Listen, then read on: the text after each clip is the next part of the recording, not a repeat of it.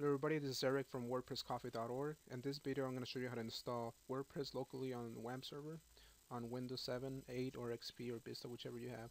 Now the first thing you want to do is install WAMP server. This is going to give you Apache, MySQL, and PHP, which is going to you know you're going to need in order to install WordPress. So you're going to need PHP for the programming language, which is the programming language that you need to basically that basically WordPress is built on, and then MySQL is the database that we're going to use to interact to build um, the tables for all the posts and all the pages that WordPress uses, and obviously Apache is just the web server that's going to tie everything together.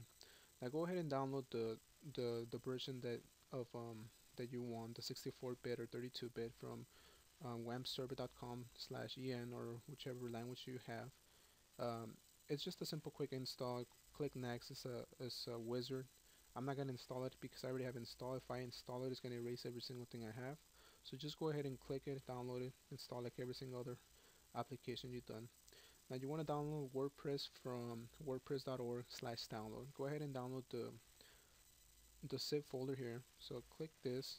I already have it um, downloaded so I'm just going to open it. Um, so you're going to have a folder here called WordPress.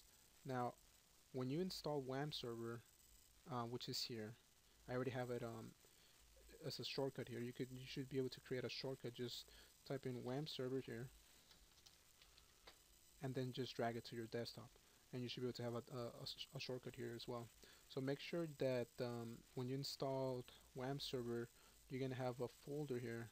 So uh, if you install it in the default directory, it's gonna be on your under the C drive and then you're gonna have WAMP here. Now on the WAMP folder here you're gonna have Uh, www folder. This is where you're gonna put all your projects or if you have multiple WordPress websites you're developing at the same time then inside here is where you would put all the websites and all the WordPress installations. So here's where I'm gonna drag in the WordPress folder that we downloaded from the website.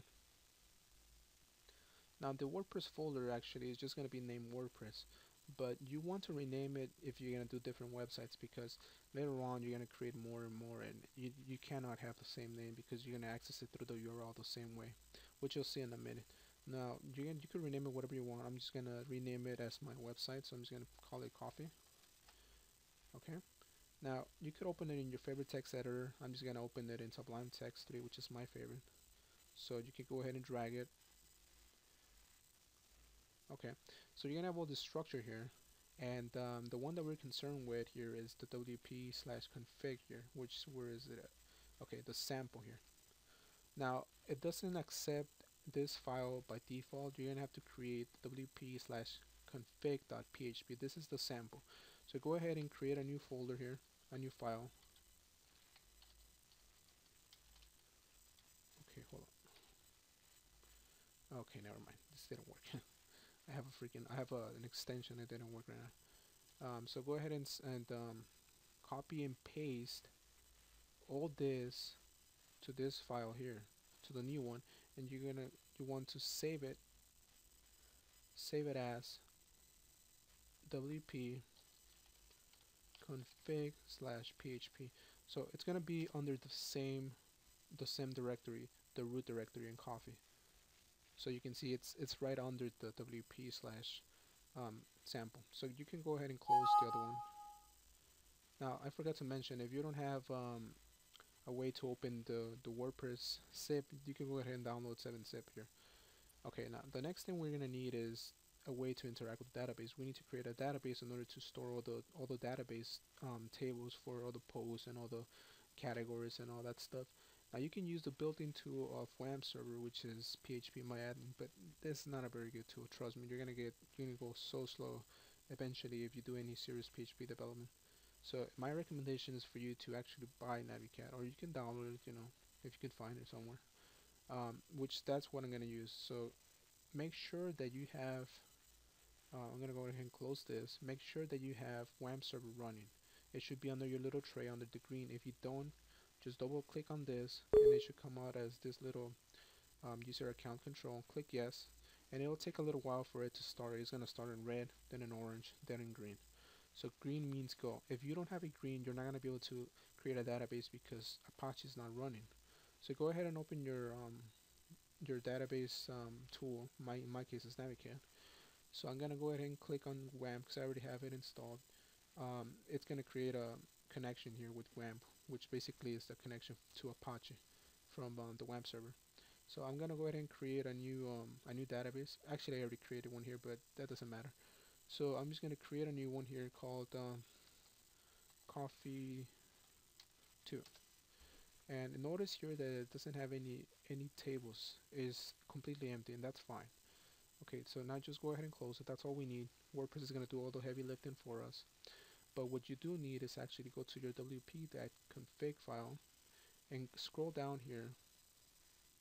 And inside here this is where you're going to put all the information. So for database name we're just going to call it coffee2 because that's the one I created right now. For the user we're going to call it root and for WAMP server if you're under Windows there's no password so just go ahead and, and leave that blank. Uh, I'm gonna go ahead and save this um, localhost you can just leave it as, this is and just close it if you want. Now everything's already set up. That's all you need to do for WordPress. All you want to do now is head over to the to the localhost um, installation folder. So let me just put this here. Um, notice that we had it here under the WAMP the www folder and I have it under coffee. Whatever I have here under the root directory of um, www it's gonna be localhost so if I access localhost it's gonna it's gonna access all these folders here. So I'm just gonna click enter here and notice that it has all the folders here. Now, in order to access the the particular folders that you want, you're just gonna just gonna go with the with the slash so slash, and then in my case, it's gonna be coffee, and hit enter, and it should take you to the five minute install for WordPress. So the the site name, I'm just gonna call it coffee, actually WordPress, coffee.org. Doing a little bit of advertisement, coffee, password. Uh, make sure you remember this.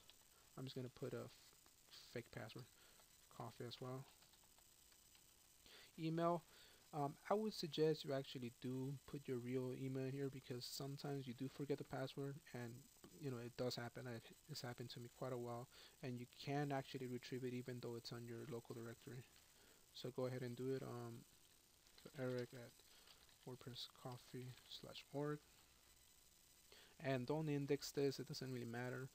Um, hit install and if everything goes correctly it should just basically do a simple install. And it's taken a while but okay WordPress has been installed okay so everything's good. So we just log in just as normally with our username and our password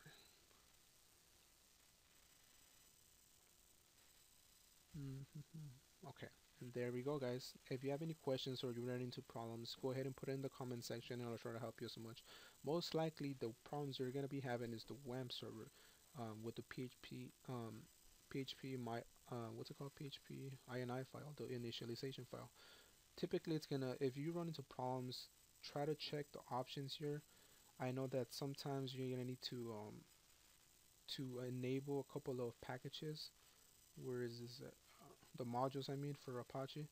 Okay so if you're running into problems and it tells you that a particular theme or a particular WordPress installation needs a particular package for from Apache make sure you go here and go to the modules and you can just click on each one here. I know that for some of them you're gonna need to use curl and it's not installed by default. Um, it's somewhere around here. I'm not even gonna bother looking. I think I already enabled it. But if it's not enabled and you need it. Just just just select it and it should be it should be there already. Alright guys. Thank you for watching and uh, don't forget to subscribe and go to my website